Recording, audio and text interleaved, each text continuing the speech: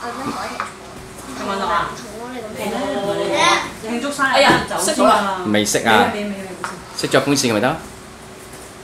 今日咧就系咧徐蕊国啊五月十八号嘅生日嚟喎，我邀请咗佢个 buddy 咧，就一齐嚟一齐领生日。嗱，Happy birthday to you，Happy birthday to you，Happy birthday to Bruno. Happy birthday to you. Ok. Ồ, hữu danh hữu phải rồi, Xuân Hài. Hữu là hồi là bánh tên là hồi gì? Hữu là gì mà? Không phải Bruno hả? Thầy à. Hữu là